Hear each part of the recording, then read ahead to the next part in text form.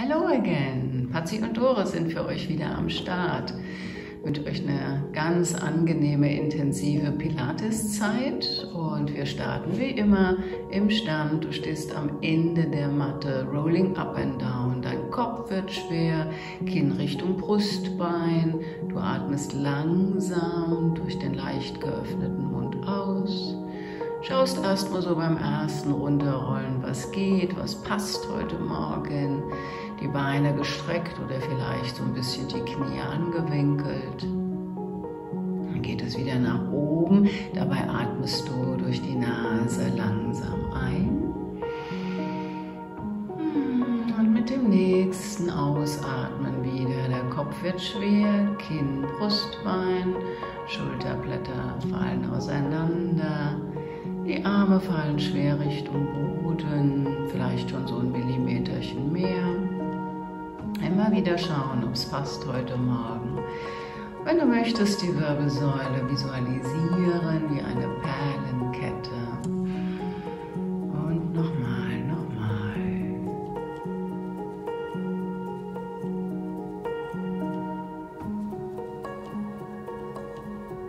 Und unten angekommen, laufen deine Hände.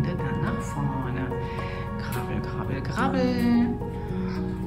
Und es geht langsam tief. Und auch hier gönnen wir uns nochmal eine Wirbelsäulenmobilisierung.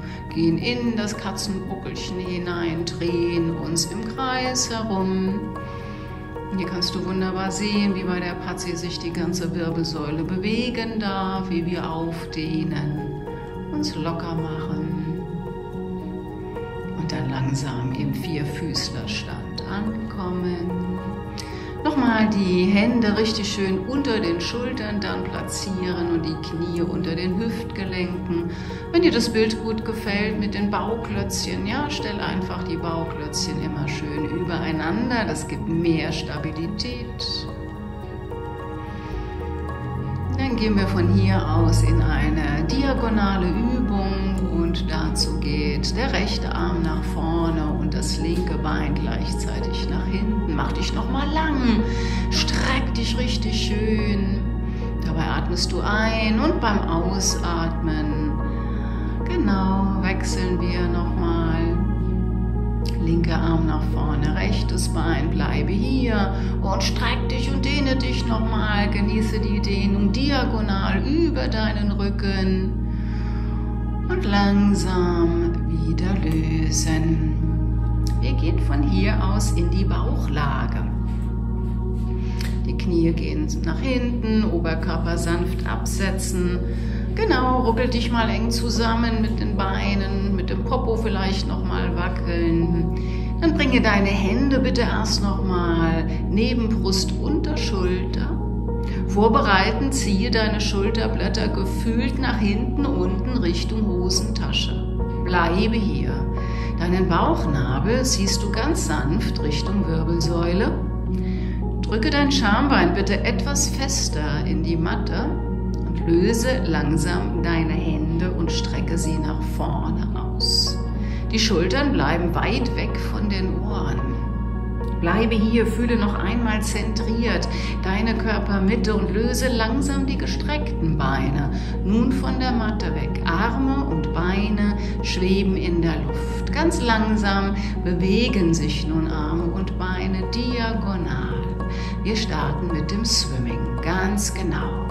Bringe Bewegung in deinen Körper, Arme und Beine im langen Hebel bewegen sich. Schön schnell, das Atmen nicht vergessen und deine Kraft kommt aus deiner Körpermitte heraus. Sehr gut. Bleibe, bleibe, noch ein paar Atemzüge durchhalten. Gerne ein bisschen länger. Wir gehen jetzt hier in eine kleine Pause. Entspanne dich kurz. Stirn ablegen, vielleicht noch mal ein bisschen mit dem Popo wackeln, das nimmt immer die Spannung aus dem unteren Rücken heraus. Genau, Beine bewegen. Relax. Wir bauen unser Powerhouse wieder auf. Das heißt, Bauchnabel Richtung Wirbelsäule. Das Schambein drückst du wieder fest in die Matte. Beckenboden nimmst du leicht mit dazu. Und streckst nun deine Arme weit nach hinten. Die Handinnenflächen zeigen zur Hosennaht. Und ganz langsam, Stufe 1, heben wir nur den Oberkörper an. Einatmen, das geht nach oben. Hm, ausatmen tief. Schau, was geht heute. Einatmen, hoch, hoch, hoch, langsam und präzise. Ausatmen. Durch die Nase ein, leicht geöffneter Mund, ausatmen. Variation 1. Ein bisschen herausfordernder, nur wenn du möchtest. Variation 2, die Beine kommen mit dazu. Oberkörper, Beine anheben, die Beine erstmal im Wechsel. Rechtes Bein und linkes Bein. Dein Atem fließt. Erinnerst du dich an unsere Pilates-Grundprinzipien? Konzentration, Achtsamkeit, Atem durch die Nase ein, leicht geöffneter Mund aus. Und der Körper mit der Atmung bewegt sich in Bewegungs- und Körperharmonie. Variation 3, nur wenn du es mal ausprobieren möchtest, beide Beine gestreckt nach oben. Spüre die Kraft, die, du, die nun entsteht im unteren Rücken, in der Gesäßmuskulatur. Eine wunderbare Übung, intensives Training für deinen unteren Rücken. Nochmal, nochmal. Und dann gönnen wir uns wieder ein kleines Häuschen. Aus der Bauchlage heraus indem du wieder die Hände neben Brust und Schulter setzt. Gehen wir in die Seitenlage, Positionswechsel. In der Seitenlage wollen wir eine wunderbare Übung machen für die Taille und zwar den sogenannten Side Bend und auch hier bieten wir euch erstmal wieder die Position 1 an. Ganz wichtig hier wirklich ist, dass du darauf achtest, dass Ellenbogen und Schulter in einer Linie stehen. Das gibt dir auch mehr Kraft für die Position. Die Beine bleiben in der ersten Variante erstmal angewinkelt. Und die Patze hebt jetzt ganz langsam das Gesäß an und die Taille geht nach oben. Wir lösen den Arm, strecken ihn nach oben aus, bleibe hier, den Bauch schön fest, wieder das Powerhouse aktiviert, arbeite aus der Kraft der inneren Mitte heraus und ausatmen, senke den Arm tief die Hüfte darf ein bisschen absinken dabei und wieder einatmen. Streck dich nach oben und wieder aus und ein. Gönne dir einen schönen, langsamen Bewegungsablauf durch die Nase ein, ausatmen.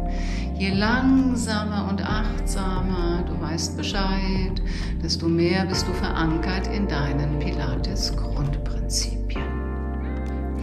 Das Ohr ist ganz weit weg von der Schulter, das heißt, du bist aktiv im Unterarmstütz. Eine wunderbare Übung, die dir auch den oberen Schultergürtel intensiv kräftigt.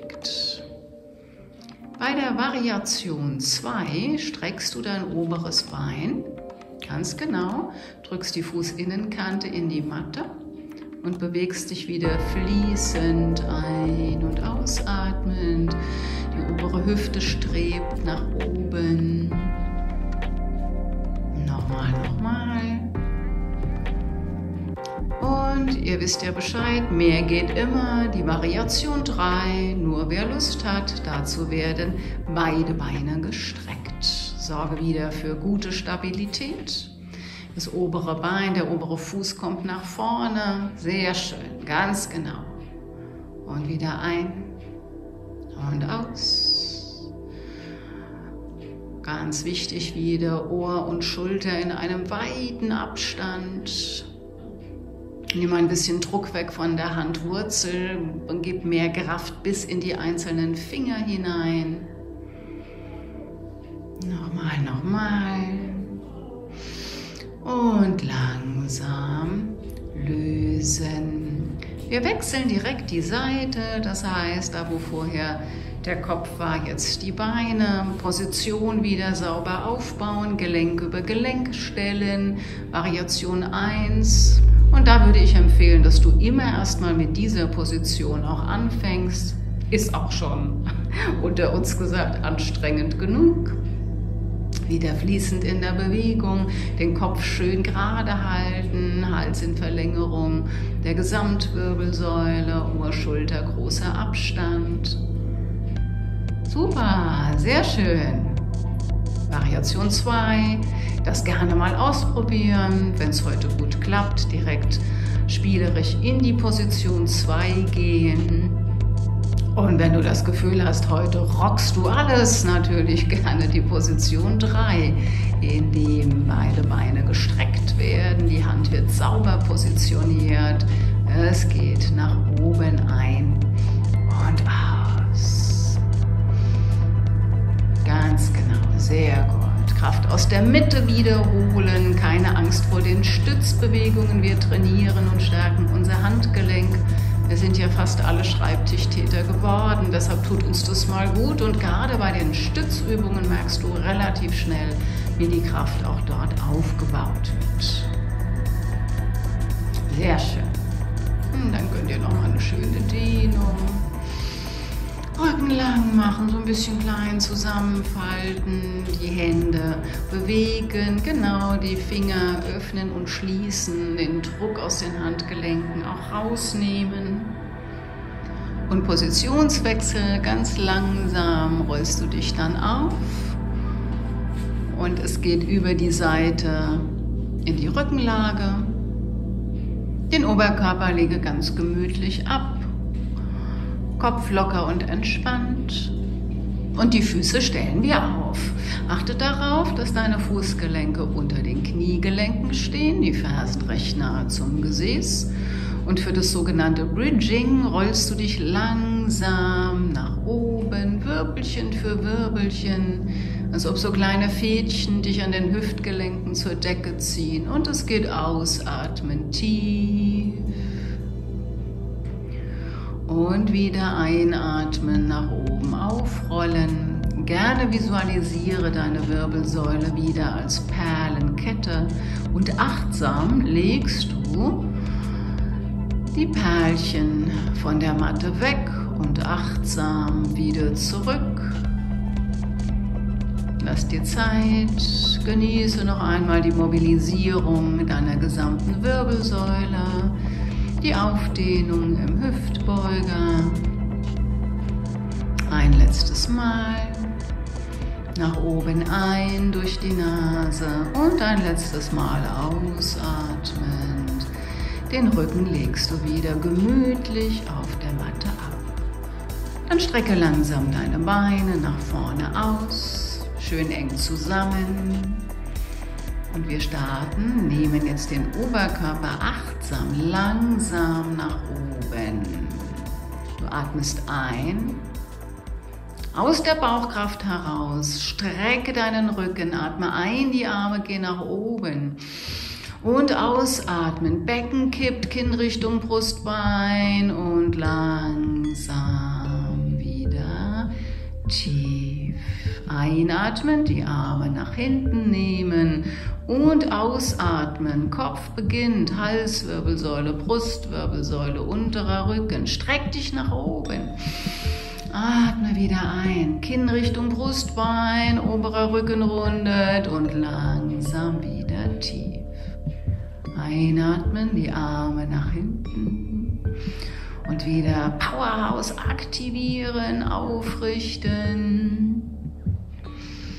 Letztes Mal bewusst nach oben ein und sorgfältig langsam ausatmen, Arme nach hinten nehmen, ein tiefer Einatemzug und ausatmen, die Arme locker entspannt neben den Oberkörper.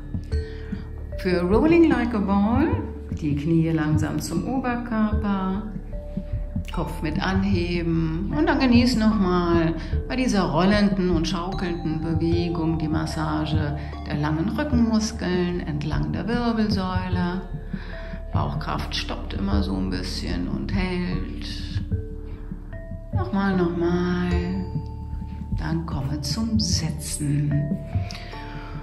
Und hier darfst du nochmal schön den oberen Rücken rund machen, Hände falten vor der Brust und richtig schön dehnen, stretch. Genieß das mal, besonders auch zwischen den Schulterblättern. Und einatmen, die Gegenbewegung, öffne dich ganz weit. Genießen und achtsam bleiben bis zum Schluss. Schulter kreisen, ganz genüsslich. Gut gemacht. War jetzt schon ein bisschen herausfordernder. Freue dich auf unsere nächsten Sequenzen. Tschüss.